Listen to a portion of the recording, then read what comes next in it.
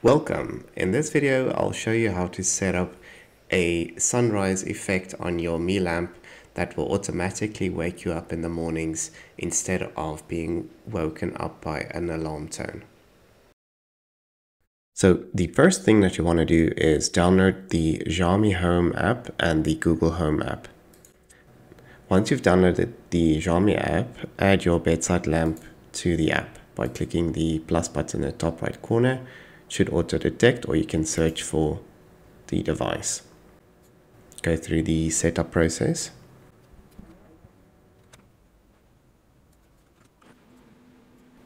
Great, now that you've set up the lamp in the Xiaomi app, we can head over to the Google Home app.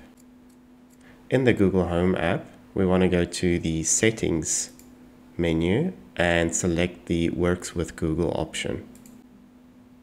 Here we want to link our Xiaomi account so we can search for Xiaomi Home. Once you've linked your Xiaomi account, it will allow you to bring over all devices from your Xiaomi Home app and assign them to rooms. Great. So now that we have our bedside lamp in the Google Home app, we can go to the Automations tab and select the Create button.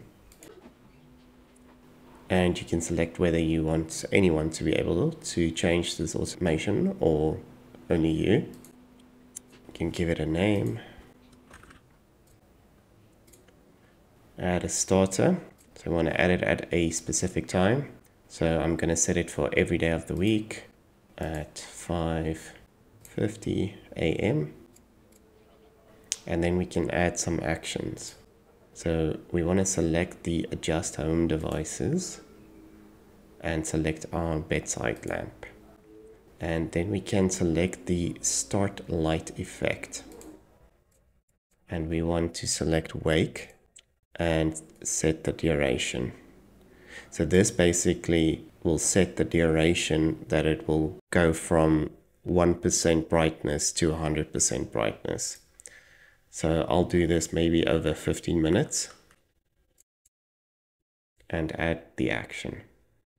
So we can save this automation and then there is a run button. So we can test it out by selecting the run button now and we can see it is working. So one thing that you'll notice is sometimes if you've left the lamp on 100%, it will switch on for a brief moment to 100% and then only bring it back down to 1%. So we can fix that by adding one additional action to our automation by selecting the add action, adjust home devices, lampy and we can select the change brightness first and we can bring that down to 1%. Add the action and we want to do that before we perform our light effect. You can save that. And there we go. Now it will always turn on at 1% and then only start the light effect to run over a 50 minute span. Well done, you should now have an automated sunrise alarm system that is a lot better on your nervous system than an audio alarm. If this video was helpful, please feel free to give it a thumbs up. See you next time.